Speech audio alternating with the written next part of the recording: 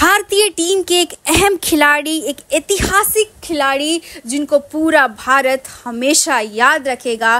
Cricketer Yuvraj Singh की biopic movie बनने वाली है और माना जा रहा है कि बॉलीवुड के दो बड़े सितारे हैं, दो दिग्गज कलाकार हैं जो इस रोल के दावेदार हैं।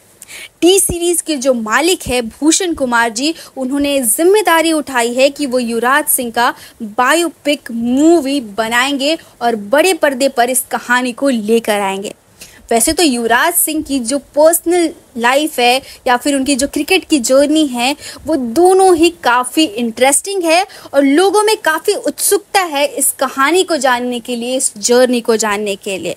वो जो दो कलाकार हैं, जो इस रोल के दावेदार हैं, उनमें से एक ऑलरेडी एक क्रिकेटर की बायोपिक में आ चुके हैं। उन्होंने उनका रोल निभाया है और बहुत ही खूबसूरती से निभाया है।